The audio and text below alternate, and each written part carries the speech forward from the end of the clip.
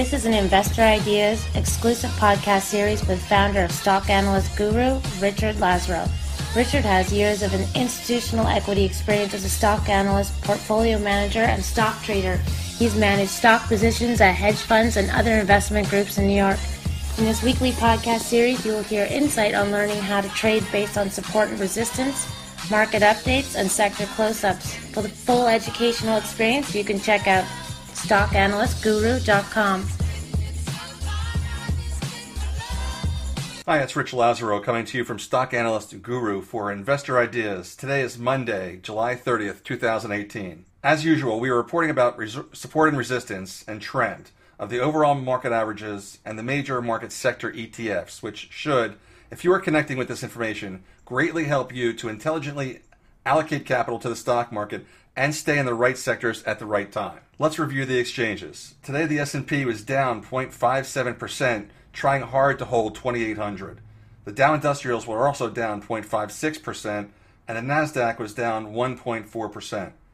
Surprisingly, the Russell, which was also down, but only 0.49%, kind of outperformed most of the sectors today, which I thought um, you know, was surprising because they are generally riskier stocks, just like the NASDAQ, but the NASDAQ was down about triple what the Russell was down. I think this might be somewhat related to the fact that maybe there's more retailers um, and other businesses like that in the Russell and less tech.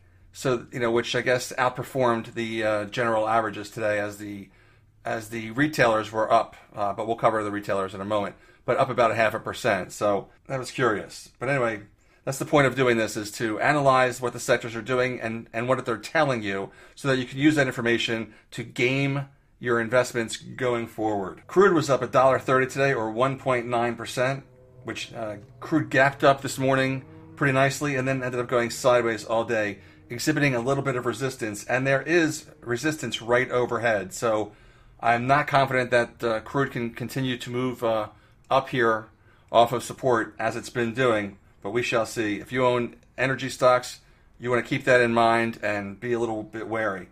Interest rates were up 1.5 basis points today to 2.975%. Interestingly, interest rates gapped up a little bit higher this morning and then traded down today to support and then moved up off that support a little bit. So it looks like they're still evincing an uptrend here um, as we went throughout the day. This is important to keep in mind if you have interest rate sensitive stocks, as we are getting close to 3% again. Sectors of note the XLK or technology sector was down 1.6%. The SKYY or cloud computing sector was got hit for 2.6%, with the biggest loss on the day for any sector. HACK, H A C K, which is the cloud computing sector, also got hit for 2.6% today. And the XSW or software, software sector got hit for 2.5% today. Again, folks, these are the sectors that were uh, the high flyers, really up a ton, huge multiples, very high valuations, and they are getting smashed. HACK has fallen to a, a, a, uh, an important level here. Needs to hold this level, or we're going to see a lot more downside. The same goes for SKYY. Uh, has fallen to an important level and uh, needs to exhibit some support right here.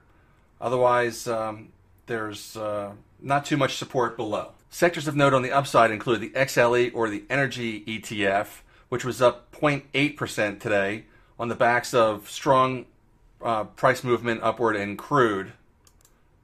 The XRT or retail sector in, uh, ETF also did very well today, up 0.45%, and is trying hard to hold on to some support here.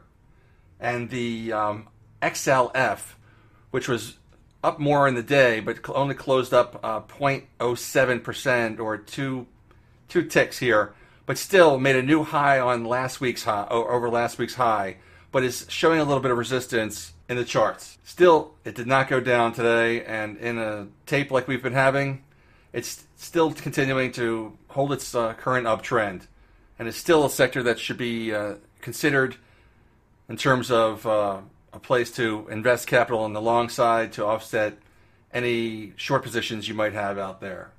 Let's include a few stocks of interest here. Um, Canada Goose, G O O S, continues to fall over um, out of its recent range after the gap up that it, it, had from a strong earnings report, and is now holding at like the, the gap up low from its earnings report, right on its right right it's right there. So it really needs, folks. It really needs to hold. If you bought this stock after earnings were announced, it needs to hold this level right here. Otherwise, we're going to see some downside in, in Goose. So just keep that in mind if you're long that one. Let's comment about the EWC, the Canadian exchange. While that was only up 0.1% today, many of its uh, biggest names were up very nicely, up uh, 0.4, 0.6%, um, 1.8%. Uh, very impressive. Uh, the Canadian exchange is, is continuing to act very well and outperform the U.S. Uh, indices at this time. RY, which is Royal Bank of Canada, did well today. Uh, CNQ or Canadian National Re- Natural Resources also up strong today. Well, but you know, crude obviously did well. Um, what else are we talking about? ENB, well, also a um, an energy name. So, and BMO, which is a you know the bank up there. Um, financial, so financials are doing well, so that also makes sense. Let's turn to some cannabis stocks. The HMMJ, or Horizons Marijuana Life Sciences ETF, continues to go down. It was only down 0.16 uh, points today, but it was about a percent, and um, just continues to fall. So the, generally, the whatever's in the index is generally falling. Uh, doesn't mean every stock is, but um, the, the, the the trend is definitely to the downside. Uh, looking at some specific stocks at Aphria, which is uh, APHQF here in the states, um, was up four cents today but um, gapped up and then kind of went sideways to down for the day, exhibiting some resistance. It's right in resistance actually, and should not be bought here unless it can kind of get over uh, 890, let's say. Um, otherwise, it's gonna. I think we've got more downside towards the eight dollar level. Uh, turning to ACBFF or, or Aurora, let's call it Aurora. Aurora is um, acting very badly, should be avoided right now, showing no signs of bottoming and going up. Um, what else can we turn to? Um, Kush, Kush, um, again, no, no, just kind of sitting on support, showing no preponderance to go up. Was flat today, and uh, SMG, which is a bigger cap stock, down with the market, 1.5 percent and um, kind of busting through. Um, wow, it's at its uh, low for the year right here. It needs to hold this level and go up from here. Otherwise, traders will sell it with abandon. They do not want to own stocks hitting new lows. But um, if this level does hold, then we would teach you at Stock Analyst Guru that this is a reasonable support level. But there's a way to um, to enter it correctly, and there's a way not to. So um, that brings me to Stock Analyst Guru, though, folks. Um, just to reiterate what we said last week, we are holding a sweepstakes now. Anybody who signs up for the free curriculum that we have that talks about how to, to uh, value stocks and do something fundamental valuations and kind of just know what your stocks are valued at um, gets entered into the sweepstakes. And by Labor Day, we are be, will be picking five winners that can uh, buy um, a subscription to Stock Analyst Guru for you know some 93 to or 97 percent off to down to maybe almost 90 percent off. It's huge, or 85, whatever. It's just huge discounts, um, and the training is tremendous and it is guaranteed, folks. Um, our discipline and structure are unmatched, very, very rational, and again are guaranteed to be impenetrable. Let's just say that. Okay, that's I'll just go out on a level a limb and say they're impenetrable. So I can show you that, and we, we coach you every day, just like this. But on screen, we show you how to how to get in, how to get out, how to manage stocks um, with precision. So, we'd love to see some more people sign up for our free curriculum or consider getting Stock Analyst Guru. It's a uh, it's a skill set that you'll use the rest of your lives. All right. I uh, hope you all are doing well. Good trading. I'll talk to you tomorrow. Investor Ideas reminds all listeners to read our disclaimers and disclosures on the investorideas.com website. And this podcast is not an endorsement to buy products or services or securities.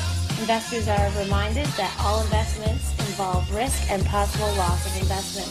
To hear more podcasts, you can visit our audio page at investorideas.com forward slash audio. And a reminder, you can also hear our podcasts on Spotify, iTunes, TuneIn, Stitcher, Spreaker, iHeartRadio, and Google Play Music. To help you follow and track sectors, Investor Ideas has created stock directories of publicly traded stocks for investors to use as a research tool to start trading and investing. Visit www.investorideas.com forward slash membership to learn more about our stock directories and leading sectors.